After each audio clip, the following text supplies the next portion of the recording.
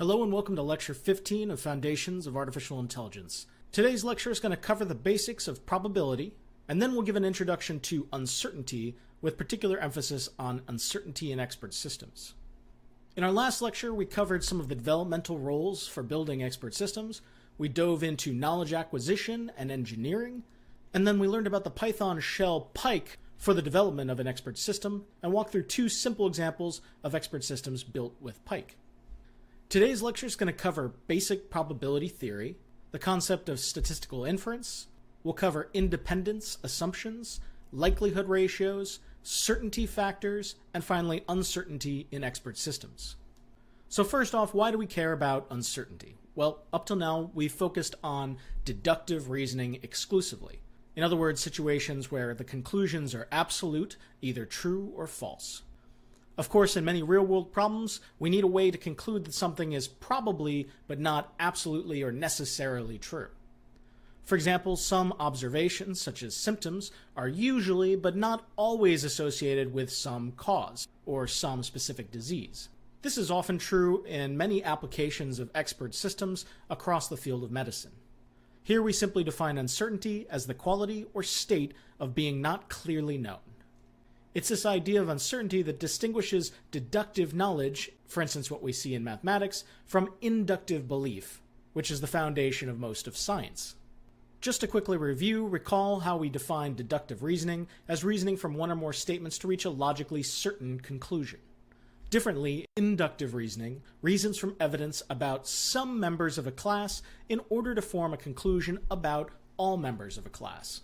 And we were previously introduced to this idea of a statistical syllogism, where we have some argument where individual premises can have a certainty associated with them, as well as the conclusion. So in this example, 90% of Adirondack trails have water, we have some other premises, and we conclude that it's 90% probable that the Rocky Gap has water. First off, let's talk about some of the sources of uncertainty. First, we'll look at uncertainty of inputs. For example, we could have uncertainty introduced by missing data, having noisy data, or the use of imprecise language. Consider that our natural language is, of course, often ambiguous, and that there can be facts described with terms like often, sometimes, frequently, and hardly ever. Uncertainty in knowledge might result from combining the views of different experts, there being multiple causes that lead to multiple effects, having an incomplete enumeration of conditions or effect, or having an incomplete knowledge of causality in the domain, which might mean that our implications are weakly structured. And then, of course, there's always probabilistic and stochastic effects, or just uncertainty that comes from randomness itself. Uncertainty in outputs can be the result of using abduction and induction as reasoning methods, which are inherently uncertain. Furthermore, the use of default reasoning, even in a deductive fashion, also can lead to uncertainty. Further, having incomplete deductive inference can also lead to uncertainty. In artificial intelligence, when we think about uncertainty, we usually begin by trying to quantify the certainty of the information we have. In this example, two separate research studies were conducted asking subjects to subjectively attempt to quantify the level of certainty implied by the use of these different terms. For example, always, very often, usually, often, generally, and so on. And we can see in these two studies that slightly different sets of scores were obtained. Funnily enough, in this first example, always only received an average of 99% out of 100 certainty based on the data collected from these study participants. In this example, we might imagine that we're trying to take raw text and quantify the certainty of information based on the use of some of these terms. And instead of arbitrarily assigning certainty values ourselves, we're surveying a group of subjects to try and understand how people perceive the certainty behind the use of these different terms. At this point, let's dive into what might be a refresher for many of you, where we cover basic probability theory. So, first off, probability is the language of uncertainty and it asks what is the chance that something will occur. Probability can be expressed mathematically as a numerical index with a range between 0 and 1, where 0 represents an absolute impossibility and 1 represents an absolute certainty. We can also, of course, think of this in terms of percentages from 0 to 100.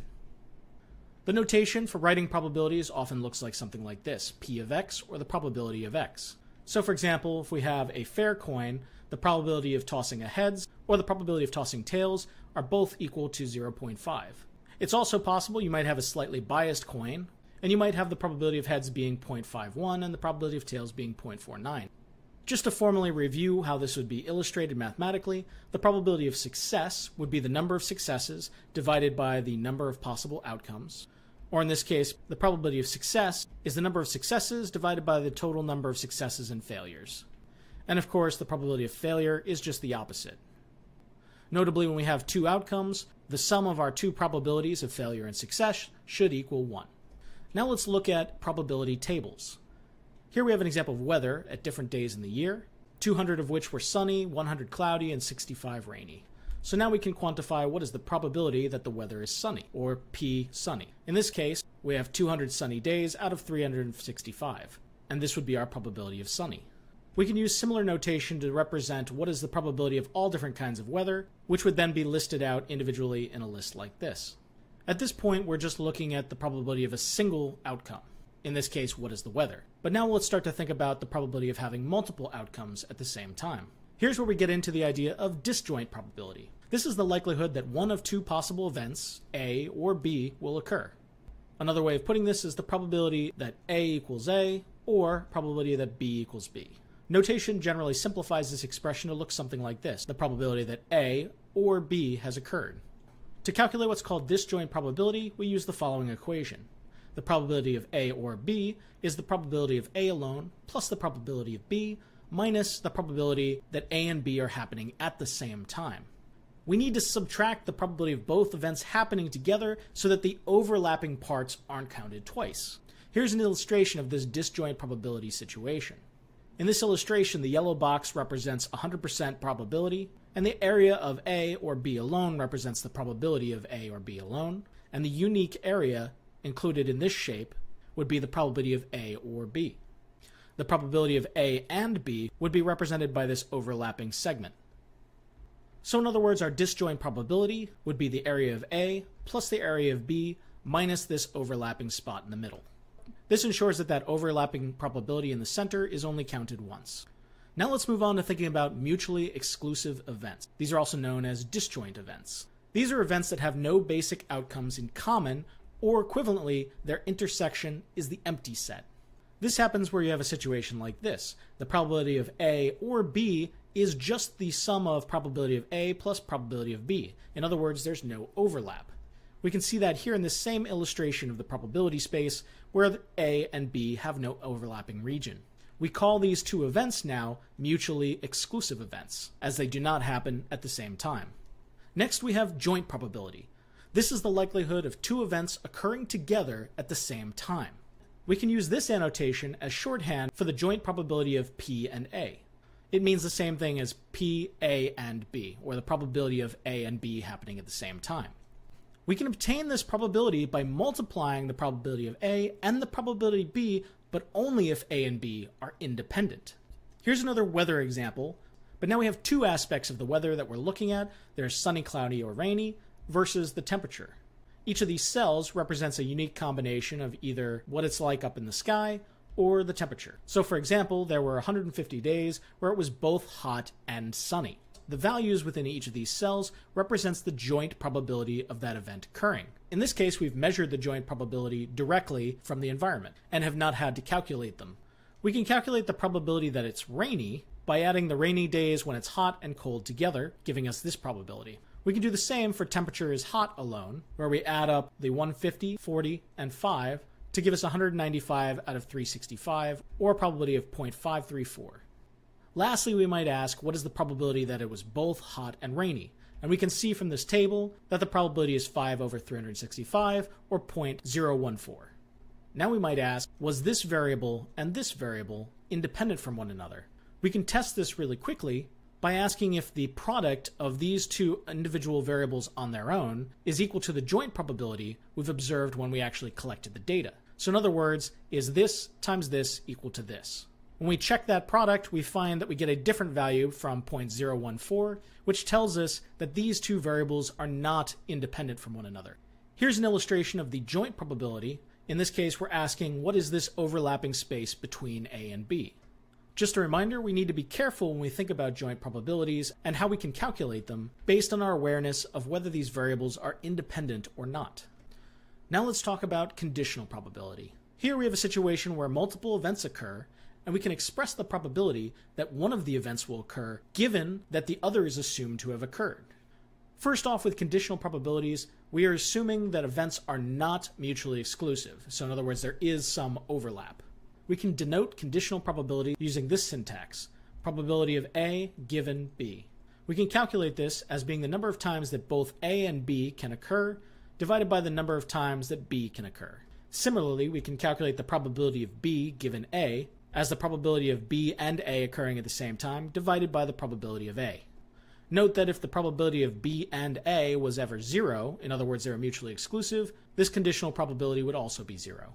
However, note that generally, the probability of A given B does not automatically equal the probability of B given A. So to look at the probability of A given B, we can think of this also as the fraction of B outcomes where A also occurs. Let's go back to our illustration of the probability space and remember that our joint probability lies here, or the probability of both A and B occurring. Our conditional probability A given B is best visualized by this fraction, or the joint probability of A and B divided by the probability of B. And our probability of B given A would look like this, where we again start with our joint probability divided now by the probability of A. And intuitively, we can see why these aren't always equal. Describing conditional probability is really a stepping stone to getting to something we're going to use a lot here, which is the Bayes rule or theorem. So we again we have our calculation of a conditional probability or probability of A given B using this equation we've just seen, and of course the similar equation below for probability of B given A. Notably, we also know that the joint probability B and A is always going to be equal to the joint probability A and B. The order of the variable doesn't really matter here. Therefore, we can also get this same equation below. This allows us to substitute in this expression for this one, giving us the Bayes rule. Here, the Bayes rule is describing a conditional probability, or the probability of A given B, in terms of the conditional probability of B given A, the probability of A, and the probability of B. So now we have a way to describe conditional probabilities without requiring joint probabilities. We'll see later on why this is a very useful simplification. Also, notably, this formula is used extensively to support probabilistic, or in other words, inductive reasoning. Next, we might ask, how do we generalize conditional probabilities to some arbitrary number of events? So far, we've only been dealing with two at a time. This is where the chain rule comes into play. The chain rule relates the joint probabilities of events to conditional probabilities. Or in other words, if we want to know the joint probability of A, B, and C all together at the same time, we can calculate this as the probability of A given B and C times the probability of B given C times the probability of C alone. This specific example can be further generalized as such, where instead of A, B, and C, we're using A1, A2, all the way to AN to represent that there could be any number of events evolved in which we're interested in their probabilities. So in this calculation, we can see the same kind of pattern we did above, only reversed for clarity. So now we have the probability of A1 alone instead of the probability of C, the probability of A2 given A1, similar to this, and the probability of A3 given A1 and A2, similar to this, multiplied further in a similar pattern based on how many events we were looking for in our original joint probability. We can apply this chain rule to extending the Bayes rule into a rather complex looking equation and this approach can be potentially useful when we can't assume independence, as we'll examine further later. And this approach can also be difficult to use based on what probabilities we're able to gather in the real world ahead of time. As a quick interlude, let's also discuss some other probability terminology. The first is the term prior. This is used to describe some probability of an event alone, or the probability of that event before any other evidence was available to place it in context. Likelihood is also used to describe conditional probabilities, for example, the probability of B given A, or also saying it as assuming the outcome A, how likely is the evidence B? Then there's the term posterior. This describes the conditional probability of the outcome after knowing the evidence, in this case B, or the probability of A given B. Note that all these terms are relative to A in this case being our target outcome, and B being some supporting evidence. And then lastly, we have the term inference, which in this context is deriving unknown probability from known ones. Now let's move on to statistical inference. First, we'll start with inference with the Bayes rule. Here, we want to compute the probability of a query or some outcome, but that probability is going to be conditioned on some existing evidence. So, for example, in asking what the probability is that we have the outcome flu, we might want to take into consideration the evidence as to whether or not we have a headache. So imagine we have the rule if headache, then flu. We can express the probability of this using the probability of flu given that we have a headache. And here's where the Bayes rule comes in, since we have a conditional probability that we want to understand and calculate. In this case, let's say that we have the following prior knowledge. We know that the prior probability of having a headache is 0.1 or 10% of people, and that the prior probability of having the flu is 1 in 100 or 1% of people. And let's also assume we have the following conditional probability, or the probability of having a headache given that you have a flu, is something we've collected through survey information to be about 90% of people. Now we can use Bayes' rule to calculate the probability of having the flu given that you have a headache. In this case, in this case 0.9 comes from our conditional probability here, multiplied by the probability of having the flu alone, and this is all divided by the probability of having a headache, giving us a conditional probability of 0.09 or 9% of people. So what this tells us is that if we know that somebody has a headache, there's only a 9% chance that that headache is the result of having the flu. This is a much smaller chance than the 90% that we saw, which came from the probability of having a headache given that you had the flu. But notably, it's higher than the probability of having the flu in general, which is only 1%. So in this case, that bit of evidence that an individual had a headache raised the probability that that person had the flu from a prior probability of 1% to a new conditional probability of 9%. Now let's look at a classic example of probability inference using the Bayes rule, in this example, we have a bag with two envelopes. One envelope has a red ball worth $100 as well as a black ball, and the other envelope just has two black balls. Let's say you're a participant in this game to win $100 and you randomly grabbed an envelope. From that envelope, you randomly took out one ball and discovered that it was black. At this point, as a player of the game trying to win $100, should you switch to the other envelope for another draw, or do you stick with the envelope you already drew a ball from? Take a quick moment to pause this video and see if you can get the right answer. Let's walk through how to calculate the best choice in this example problem. Let's start off by defining our variables. We use the variable e to represent an envelope, where envelope 1 has a red and black ball, and envelope 2 has the two black balls. In truth, we don't know the underlying states of both envelopes, but we're going to assign them these values just for the purposes of demonstrating how this problem would work out. We also have a variable b that describes the event of drawing a black ball. We know that our prior probability of drawing a black ball is 3 out of 4, since 3 out of the 4 balls are black. We can also calculate the conditional probability of drawing a black ball from either envelope. So for example, the probability of drawing a black ball, given that we have envelope 1, is 50-50, since envelope 1 contains both a red and black ball, and the probability of drawing a black ball from envelope 2 is 100%, or 1. Our probability of having picked one envelope or the other we'll assume is 50-50. So the prior probability that you pick E1 and the prior probability that you pick E2 are both 0.5. Next, we want to work out what's the probability that you picked envelope X given that you drew a black ball. We'll write this as follows. Probability of E of X given B, or the probability you drew a black ball. Here we use the Bayes rule to give us these variables with which to try and calculate this probability. So next, we want to calculate this for both the situation where you have envelope 1 or envelope 2 and compare them. So first, what's the probability that we drew envelope 1 given that we drew a black ball? Based on the Bayes rule, we'd calculate this to be one third. Differently, what's the probability we drew envelope 2 given that we drew a black ball? In this case, we would get 2 out of 3. Therefore, the likelihood is greater that you picked envelope 2 with two black balls in it, given that you drew a black ball in your first attempt. This can be counterintuitive, as you might expect in your first draw that you had a 1 out of 4 chance of picking the red ball, and in your second draw, you now had a 1 out of 3 chance of picking a red ball. However, the evidence that in your first attempt you drew a black ball does alter the probabilities. Therefore, the better strategy is to switch to the other envelope and take your chances that you'll pull a red ball.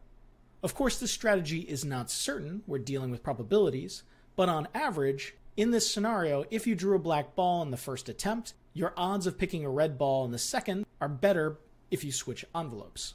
This example that we just walked through is very similar to the classic Monty Hall problem, where contestants have to pick a prize behind different doors. This is a really interesting video on YouTube that really breaks this problem down piece by piece, and I definitely recommend that you check it out. So next we might ask, why do we bother with the Bayes rule when we're building an expert system? Or why do we make things this complicated? Why not just calculate the probability of having the flu, given that an individual has a headache, from the data directly in order to use in an expert system? Well, at the end of the day, it often comes out to the accessibility of that data. Patients that clinicians can easily observe in their clinic will usually be identified as having a given disease ultimately. Otherwise, they probably wouldn't have been in the clinic to begin with. So, from these patients, we can easily get the probability of symptoms. For example, the probability of a headache given the disease flu. But how is it practical to gather up all people with headaches and then survey how many of them have the flu? In diagnosis problems, we often have available data on probabilities of various symptoms of different diseases. For example, the prior probability of having a headache. So with these two kinds of probabilities, you can go ahead and calculate this original probability that we are interested in using the Bayes rule. You might also reasonably ask, why not calculate this target probability that we're interested in using the joint probability of flu and headaches divided by the probability of headaches rather than, again, the Bayes rule? Well, the joint probability, probability of F and H, can also be difficult to gather data on. Here you'd need to build a joint probability table which in certain problems might be possible, but it's potentially very impractical as the scale of a problem gets bigger. At the end of the day, when it comes to uncertainty and reasoning and probabilities, you're going to want to work with the data that's most feasible to collect, as well as the data that's most reliably collected. Now let's look at a couple more slightly advanced things that we can do with the Bayes rule. For example, what if we don't have available data on symptom probability, or in other words, probability of B? Well, if the occurrence of an event A depends on only two mutually exclusive events, B and not B, we obtain the alternative way to calculate probability of B.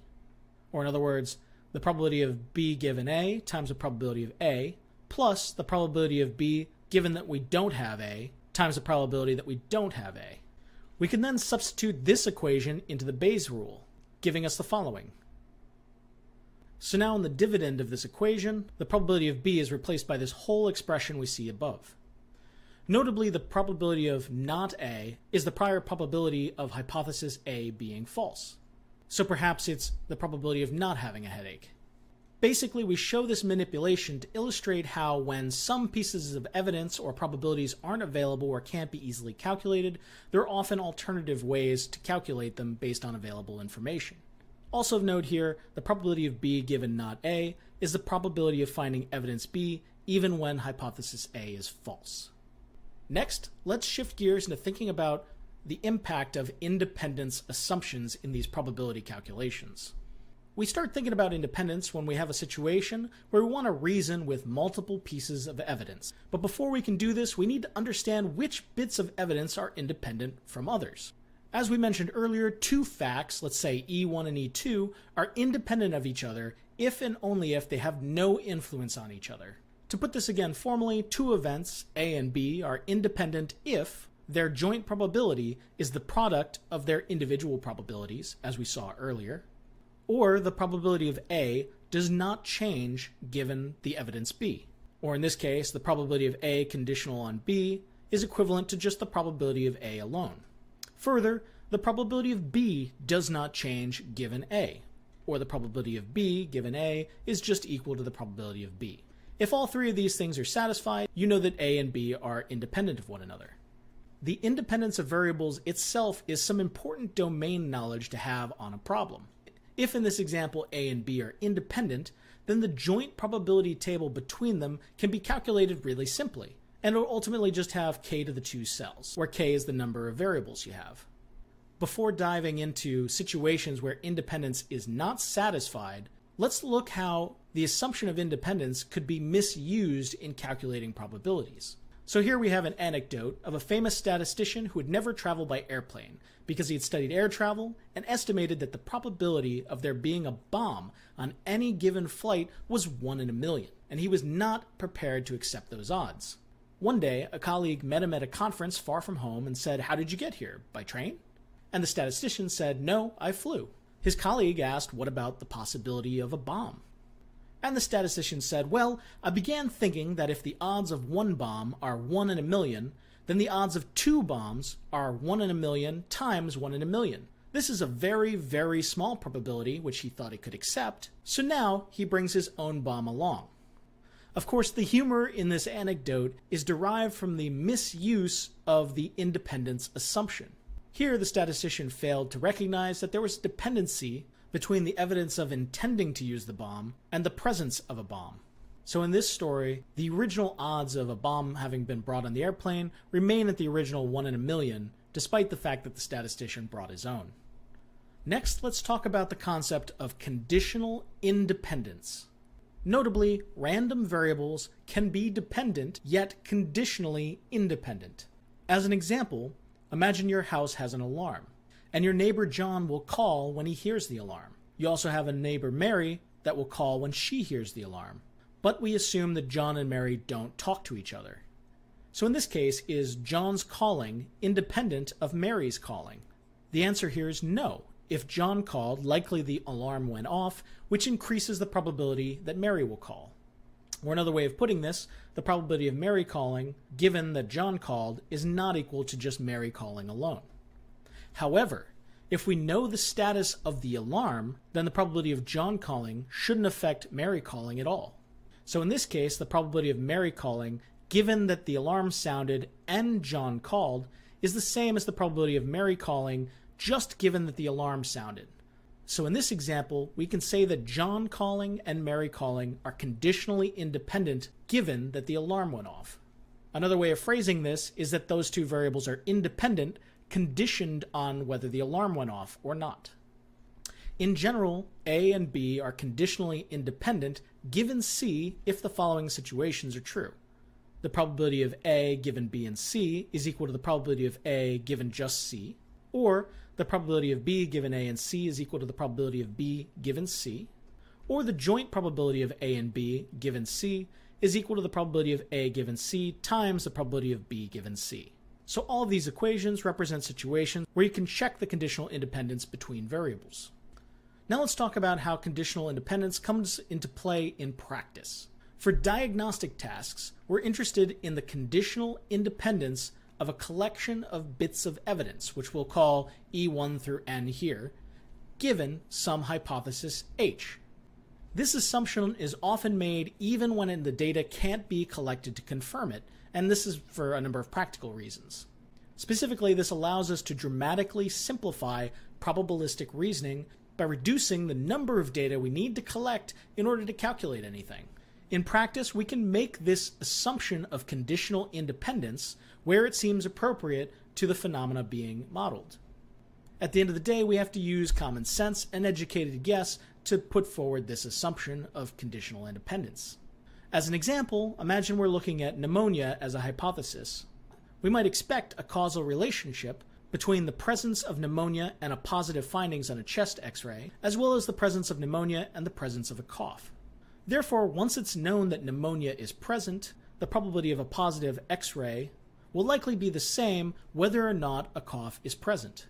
Thus, it's reasonable here to assume that a positive x ray and a cough are conditionally independent given pneumonia.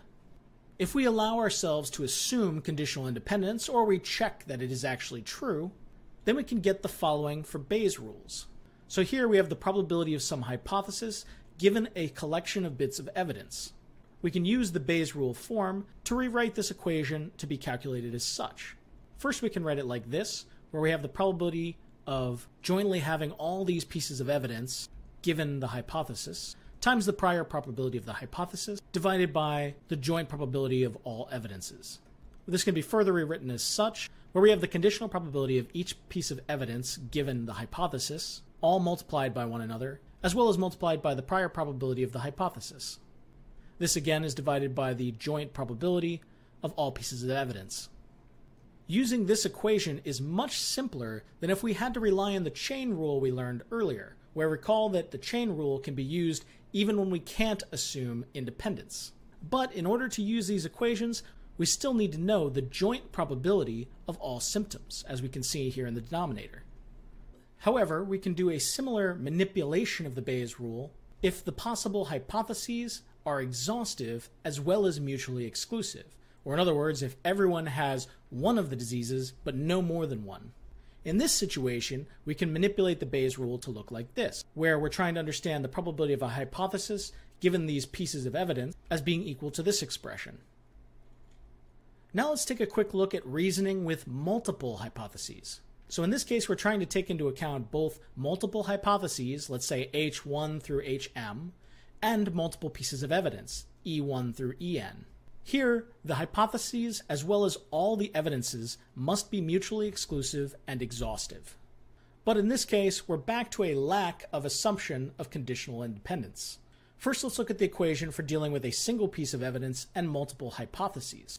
Differently, we have the following equation for dealing with multiple pieces of evidences as well as multiple hypotheses.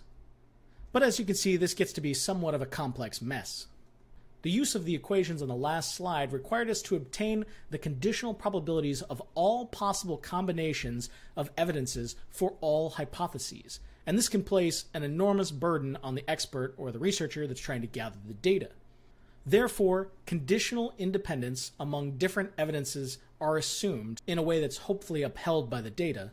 But and in this case we can use this equation filled with a number of conditional probabilities that generally would be easier to calculate. In other words, the probability of evidence 1 given a hypothesis. This equation is what would most commonly be applied in expert systems that rely on a more formal probabilistic framework for calculating uncertainty. So next we're going to transition into thinking about ranking potentially true hypotheses given different bits of evidence. So let's examine this simple example where we have an expert who's given three conditionally independent evidences, E1, 2, and 3, and they create three mutually exclusive and exhaustive hypotheses, H1, H2, and H3.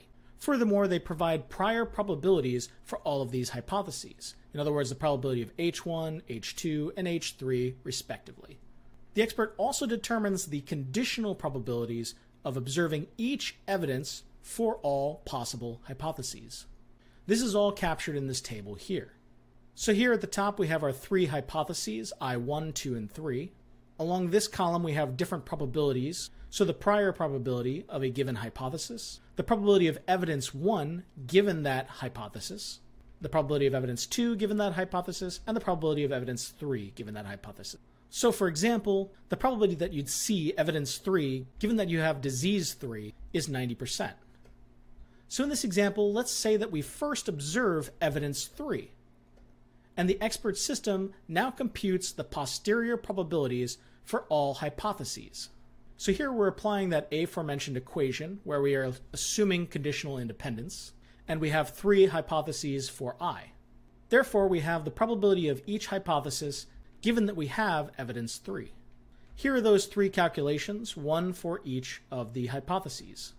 Recall that before we knew any of this evidence, our prior probabilities of any one of these hypothesis outcomes are listed here in this row, with hypothesis 1 being the most likely. After calculating the conditional probabilities of these hypotheses given evidence 3, we can now see that hypothesis 1 and 2 are now equally likely and hypothesis 3 is least. Now let's suppose we now get evidence 1 in addition to evidence 3. So again, we're going to calculate these posterior probabilities using this equation, now where we have two pieces of evidence to consider. Now we look at the updated conditional probabilities for each of the hypotheses and find that hypothesis 2 is now much more likely than the other two hypotheses. Now let's say we finally get evidence 2 and we want to calculate our final posterior probabilities for all hypotheses. Here again is our conditional probability equation for each hypothesis given all three pieces of evidence, and we see the following calculated probabilities for each. Where now with the introduction of evidence 2, the probability of hypothesis 2 has completely gone away. And we find with the addition, and we find that by including all three pieces of evidence, that hypothesis 3 is now the most probable. This is despite hypothesis 3 originally having had the lowest prior probability. The next couple sections of this lecture are going to now start to talk about some simplifications dealing with probability and uncertainty as they begin to be applied in expert systems and real world problems. First, we're going to talk about likelihood ratios. So, Bayes' theorem can be awkward for diagnostic problems. Thus, it's often reformulated using what are called likelihood ratios. They're often written like this, which say the odds of H, a hypothesis, are equal to the probability of the hypothesis divided by 1 minus the probability of that hypothesis. This is just like odds on horses, where the odds of Speedy the horse winning might be 3 to 2. Or in other words, there are 3 chances of him winning to 2 chances of him not winning. Odds like 3 to 2 or 1.5 on a disease means that 3 people will have it for every 2 that don't. Then there's posterior odds. This is related to conditional probabilities. Here we have the odds of a hypothesis given evidence which can be calculated as such, where we have the probability of a hypothesis given the evidence divided by 1 minus that probability. So here we might want to know that the odds of a person having a disease is 5 to 2 given that they have a fever. Now let's talk about positive likelihood ratio. This is also known as the level of sufficiency, abbreviated as LS. With the level of sufficiency, we want to consider how adequate some evidence E is for concluding H. LS is calculated here as the probability that we see the evidence given our hypothesis divided by the probability of the evidence given that we did not see that hypothesis. Now we can rewrite the posterior odds, or the odds of the hypothesis given the evidence, in terms of this level of sufficiency times the odds of the hypothesis itself, where the odds of a hypothesis are simply the probability of the hypothesis divided by 1 minus that probability. We can also use posterior odds with multiple evidences. Again, assuming conditional independence, we can multiply together each level of sufficiency for each bit of evidence. Then we can multiply the result by the prior odds. So let's take a look at an example. Here we have two hypotheses of either measles or mumps, and included are their LS values given pieces of evidence. You could think of these values as the odds that you'd see that evidence given that they have the target outcome. So here, spots are more indicative of measles than they are of mumps. Let's say that in this situation, we also know that the odds of having measles are 0.1 and the odds of having mumps are 0.05. So now, given that a patient has spots but no temperature, what are the odds of having either measles or mumps? Well, we can calculate this using that equation from our last slide, where our odds of measles, given no spots and no temp, takes the LS of measles takes the LS of spots, no temperature, and multiplies them by the prior odds of the hypotheses measles. So in this case, 15 times 0.8 times 0.1 gives us an odds of 1.2. We can similarly calculate this for mumps, where we have 10 for spots, 0.7 for no temperature, and a prior odds of 0.05, giving us a final odds of 0.35. So in this case, given those two pieces of evidence, spots and no temperature, we know that the probability or the odds of having measles is quite a bit greater. Having just talked about odds, let's quickly revisit Bayes, where the framework for Bayesian reasoning requires probability values as the primary inputs. You could start with patient data to determine the likelihood ratios and prior odds of different diseases. And if data wasn't available, an expert could make an educated guess. However, of course, there are many potential sources of error. For one, the symptoms may not be independent given the disease. The likelihood ratios and prior odds may be inaccurate based on non representative or overly small samples of patients or poor guesses on the part of experts. Often, simple systems that deal with uncertainty may give the illusion of precision. For example, they could output a high probability for a given outcome, such as 96%, but there could be critical errors behind these values if the system wasn't set up correctly or the assumptions that went behind the probability calculations were not satisfied. Further, if we don't make assumptions about the conditional independence of these variables, we would need huge tables of conditional probabilities. So, for example, what's the probability of each hypothesis for every single unique combination of evidence possible? Typically, doing this just isn't practical. So, for example, given 16 possible symptoms, we'd need a table with 2 to the power of 16, or over 65,000 entries for every disease. it's unlikely that we'd have enough data on past patients to get accurate probabilities for each. So the message here is that the performance of Bayesian statistical reasoning systems deteriorates as a larger number of diseases and symptoms are considered. And this is primarily due to the violation of conditional independence that we've discussed. Next, let's talk briefly about certainty factors. This is a big simplification. These offer a popular alternative to Bayesian reasoning. They're effectively just a number that measures the expert's belief, where the maximum value of a certainty factor is, say, positive 1 or definitely true, and the minimum value might be negative 1 or definitely false. For example, if the expert states that some evidence is almost certainly true, a certainty factor value of 0.8 could be assigned to this evidence. Importantly, certainty factors are not the same as probabilities, but of course they're conceptually and intuitively related. We'll learn more about the MYCIN expert system in our next lecture, but for now, here is how certainty factors are used by that expert system that quantify the level of expert certainty in different facts in the rule base, ranging from definitely or positive 1 to definitely not or negative 1. In expert systems that use certainty factors, the knowledge base consists of a set of rules that have the following syntax if evidence, then hypothesis, with an associated certainty factor. Again, this certainty factor represents a belief in the hypothesis given that the evidence has occurred. Let's dive a little further into certainty factor theory. This is based on two functions. The first is measure of belief, or MBH&E, which is the measure of increased belief in H due to E. There's also the measure of disbelief, or MD, in this case HE, which measures the increased disbelief in H due to the evidence E. Here's how both of these could be calculated. So here, the measure of belief in this hypothesis given the evidence E can be a perfect 1 if in this example the probability of that hypothesis is always true given the evidence. Otherwise, we could calculate it using maximums for our measure of belief and minimums for our measure of disbelief. Here, P of H is the prior probability of hypothesis H being true, and we have the conditional probability PH given E is the probability that hypothesis H is true given evidence E. So these values of measure of belief and measure of disbelief are ranged between 0 and 1. The strength of belief or disbelief in hypothesis H depends on the kind of evidence E observed. Some facts may increase the strength of belief, but some might increase the strength of disbelief.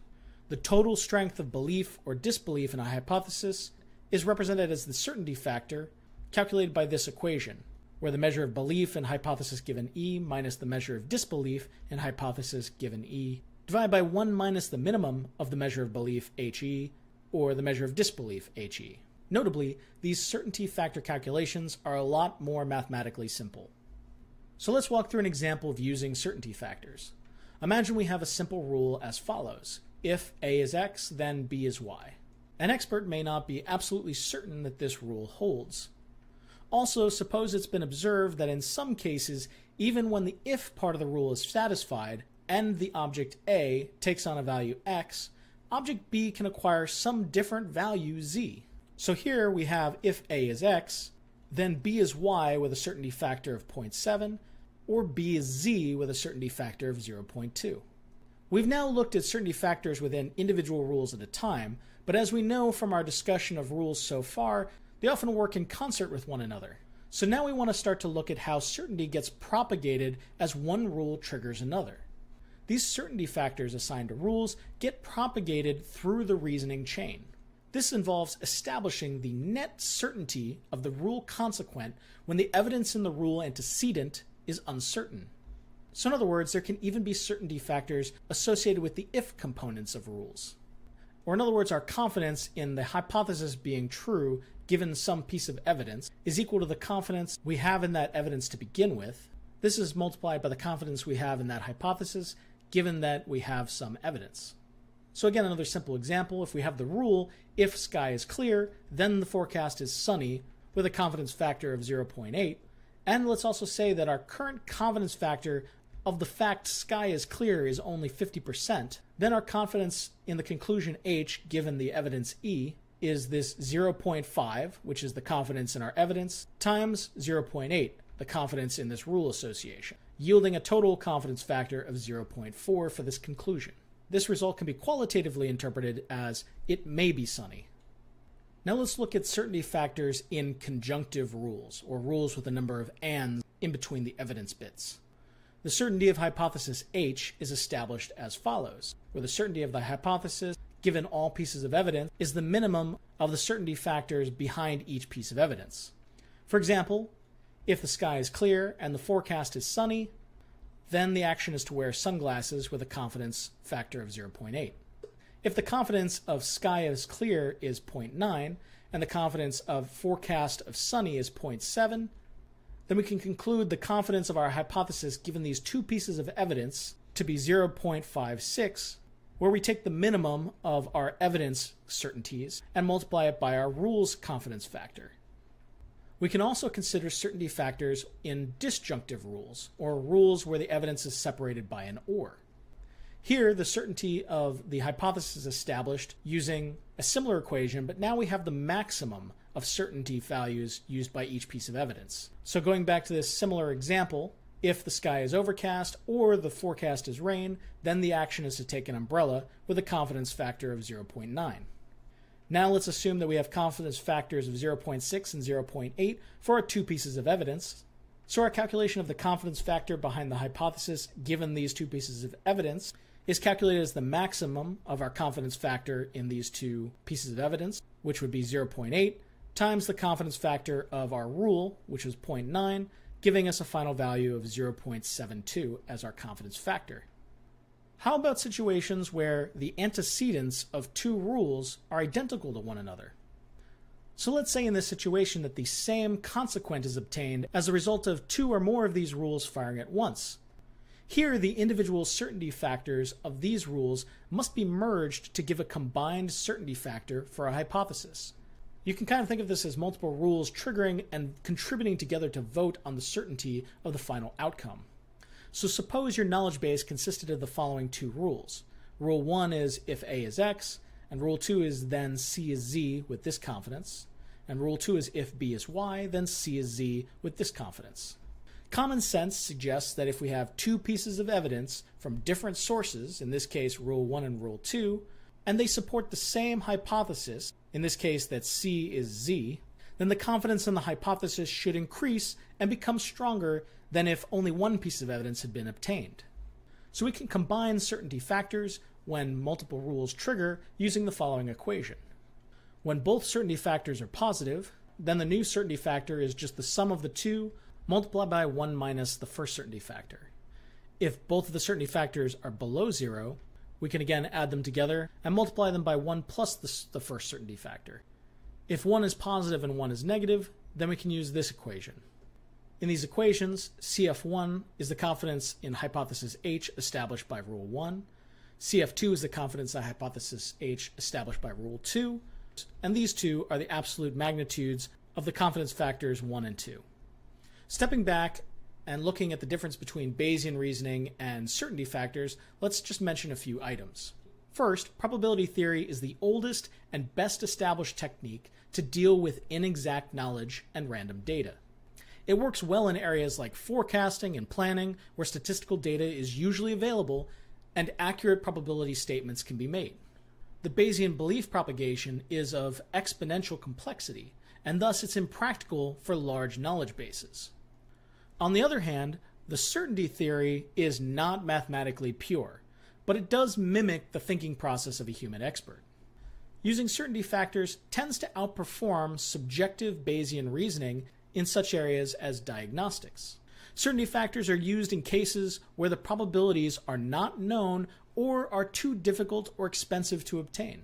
And certainty factors' evidential reasoning mechanisms can manage incrementally acquired evidence, the conjunction and disjunction of hypotheses, as well as evidences with different degrees of belief. The certainty factor approach also provides better explanations of the control flow through a rule based expert system.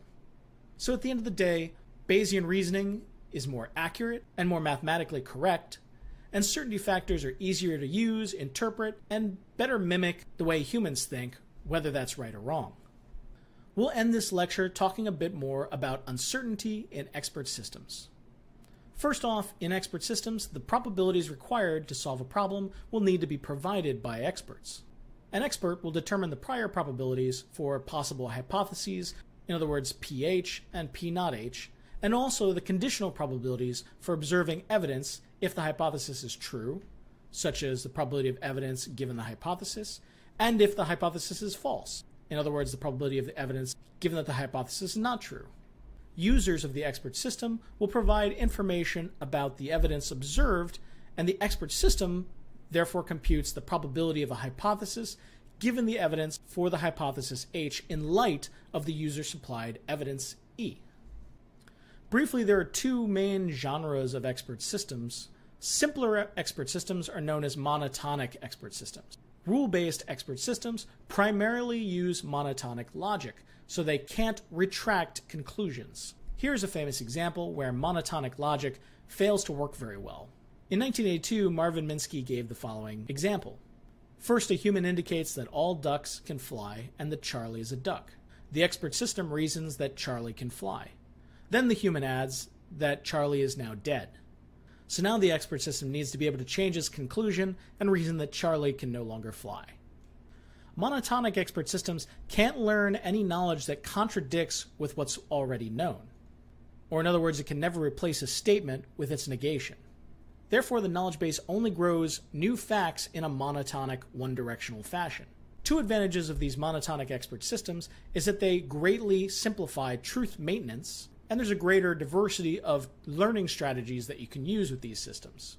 In contrast, non monotonic expert systems can learn knowledge that contradicts what's already known. It does this by replacing old knowledge with new knowledge. The advantage here is that there is increased applicability to real world domains and a greater freedom to learn new things. These are much harder to build, but there are now a few systems built on non monotonic logics. We've talked about a few ways to think about uncertainty today in the context of probability and expert systems, but there are some other ways to represent uncertainty. One of these is default reasoning. Here we have non monotonic logic that allows the retraction of default beliefs if they prove to be false. Then there's evidential reasoning. This is exemplified by the Dempster Shafer theory, where you have bel P is a measure of the evidence for P, and bel not P is a measure of the evidence against P. And together they can define a belief interval or an upper and lower bounds of confidence. Then there's fuzzy reasoning, which we've touched on earlier, where a fuzzy set can describe how well does an object satisfy a vague property, and fuzzy logic asks how true is a logical statement. And lastly, Bayesian networks, which we'll cover in our uncertainty module later in this course. Let's look at some of the trade offs regarding some of these different ways to represent uncertainty. When we're dealing with probability or Bayes strategies, the inference process can be highly complex, but you do get quantitative measures of uncertainty. When it comes to certainty factors, they're not semantically well founded, rules have to be independent, and certainty factors have to be available. However, certainty factors allow for rule based inference, and they're much simpler than dealing with probabilities. With non monotonic logic, you can represent common sense reasoning, but it can be computationally very, very expensive. Going back to the Dempster Shafer theory, this is another strategy that has some nice formal properties, but can also be complex and computationally expensive. Furthermore, the intervals of confidence tend to grow towards all the way from 0 to 1, which doesn't give you a very useful conclusion. Then there's fuzzy reasoning, where the semantics themselves are super unclear, right? They're fuzzy to begin with. And also, you get these longer inference chains that become problematic. However, fuzzy reasoning systems are easy to design, they have intuitive rules, and they can be useful for some commercial applications. And finally, with Bayesian networks, they offer nice theoretical properties combined with efficient reasoning, and this has made them very popular. But they have a limited expressiveness, and they often introduce knowledge engineering challenges that can limit their uses. In general, when it comes to representation of uncertainty, there's a general trade off between computational complexity versus representational power and precision of those probabilities and uncertainty. In today's lecture, we've covered the basics of probability theory. We talked about statistical inference with focus on the Bayes rule. We discussed independence assumptions, including conditional independence, and reasoning with multiple evidences or hypotheses. Then we moved into likelihood ratios, learning about posterior odds, level of sufficiency, and some of the issues with Bayesian approaches. Next, we discussed certainty factors, their use in expert systems, their calculation, and their propagation through rule chains. And finally, we had a little bit of a discussion about uncertainty in expert systems as a whole. Here's today's quote The probability of success is difficult to estimate, but if we never search, the chance of success is zero. Just a reminder assignment 3 will be due soon. Please check your syllabus for specific dates. As always, thank you for your attention, and I'll see you in the next lecture.